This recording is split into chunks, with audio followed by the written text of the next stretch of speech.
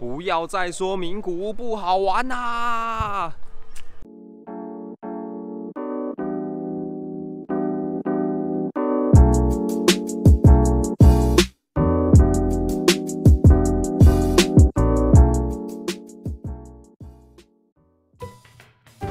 大家好，我瑞叔啦。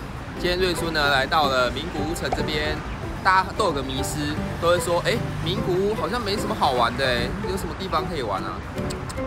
我今天就要来带大家说，如何用名古屋的一日券，好好的玩遍名古屋城里面所有的景点。那我们就先出发去买票吧，Go Go！哎、你怎么在这边？慢来挠啊！哎、耶我们现在有地下铁龙站这边，然后现在教大家怎么在地下铁这边用自动贩卖机买票哦，买一日券。首先呢，我们来到贩卖机这边，那其实这边也可以选，这边也可以选语言啊，可以选用英 All 文或是 fare 日文。 information will be displayed in 对 English.，然后我们这边要选这边 keep，然后有一个这个的 keep，然后哎这个，然后选地下铁全线二十四小时的一日券。打开之后呢，然后从这边要投钱，領収書が必要然后这でしたら边会找钱，ボ就会タンを把票吐出来喽。 到了，我们就马上出发吧。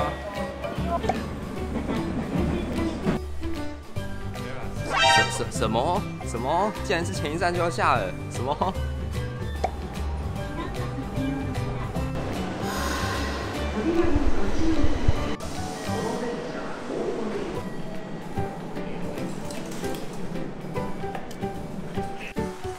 名城公园，我们到了名城公园。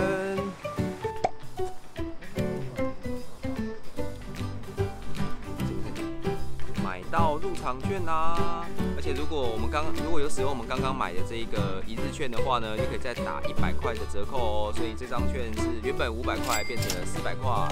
好，我们现在进去吧。哟，我们进来名古屋城啦！我们打马赛克。不知道是不是因为明年是二零二零的关系，好像很多城都还在整修。像今天我来这个名古屋城啊，它天守阁好像也是说不能进去，不知道是在整修还是在维护吧，不确定。不过我觉得来到日本的古城的话呢，还是要去天守阁看一下，主要还是为了那天守阁而来的。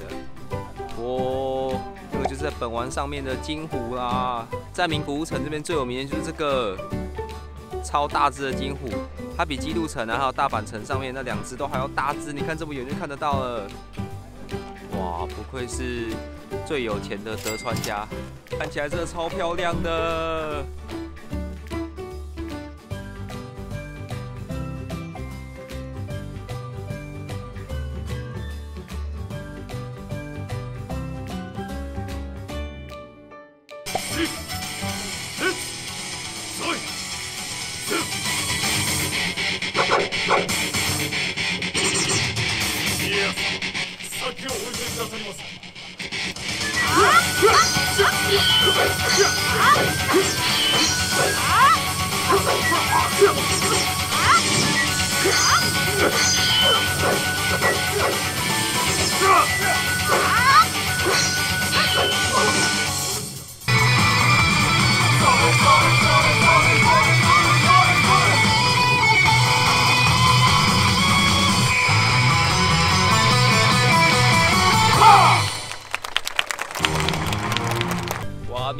也是超漂亮的，不过好可惜没有进到天守阁里面去看看。好，我们就接着使用一日券去下一个地点看看吧，Go Go！我们现在出站了，这一站呢叫做大须观音站，没错，这就是我们今天名古屋券一日游的第二站大须观音。从地下铁一号出口出来之后，走两分钟，马上就可以看到喽，大须观音。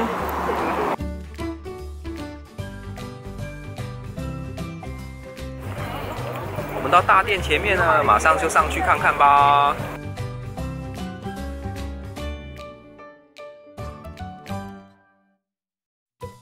拿到了大须观音寺的玉珠印。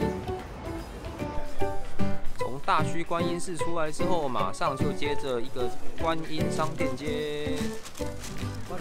我觉得日本这边的商店街很棒的一点就是它都会有屋顶，所以只要下雨，所以就算下雨的时候也不用担心说会淋湿或什么的。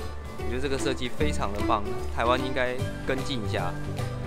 哇，最近日本人真的超疯珍珠奶茶的，超夸张，走到哪都看得到。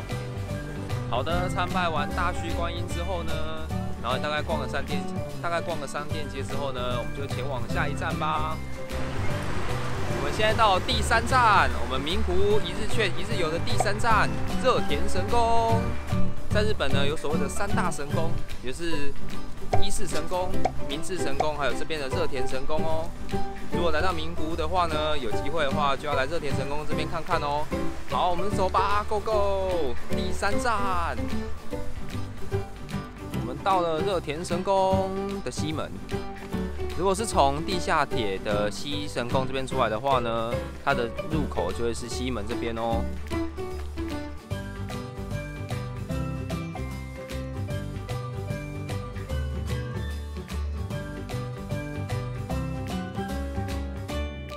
拿到了热田神宫的玉珠印。一般来说，在索取玉珠印的时候，它都会有指定的那个所谓的出税料，就是说你在领取玉珠印的时候，它其实要付一定的费用。不过这边很特别的是，它没有指定所谓的出税料的费用，完全是依据自己的心意来投的。所以大家有机会的话，也来这边看看吧。我朋友也有来这边协会嘛。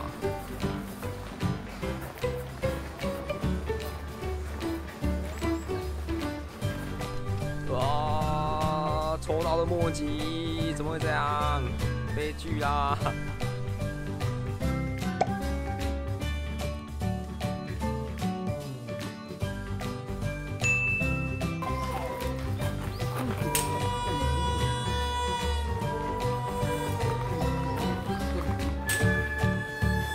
好，这参拜完明治不对啊。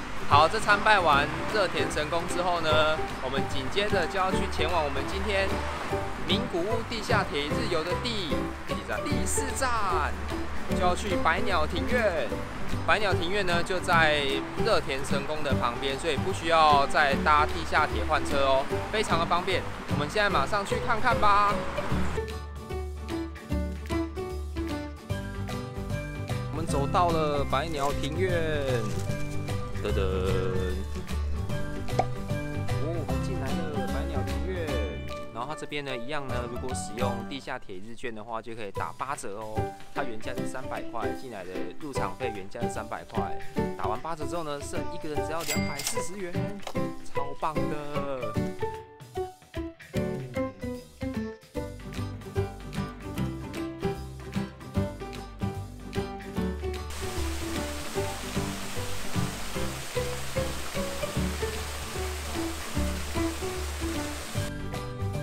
在百鸟庭园里面发现了野生的热狗，群长得超像热狗的啦。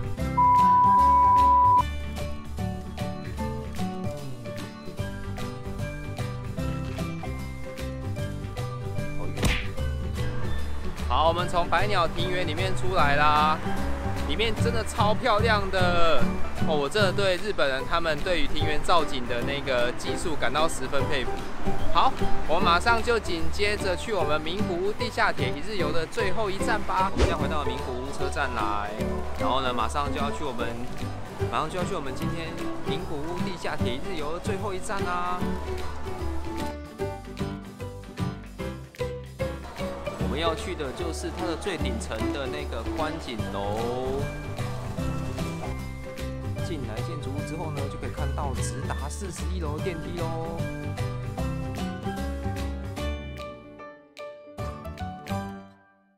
哦，我们上来四十一楼啦，他是要从那边搭手扶梯才能上去四十二楼哦。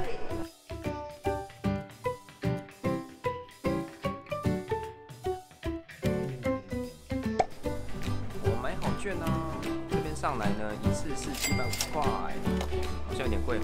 可是好像来这种景观，这种景观台大概都是这种价价格。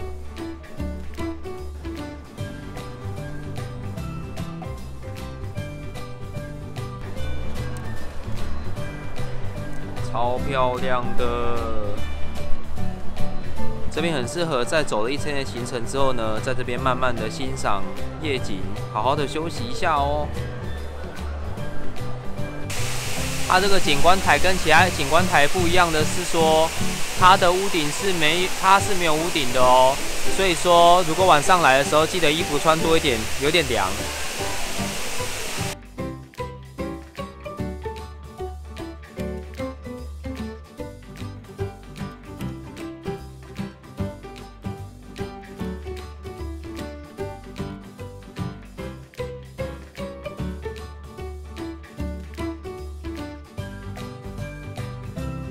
以上就是瑞叔我今天使用名古屋地下铁日券的一个简单的心得分享哦，大家觉得怎么样呢？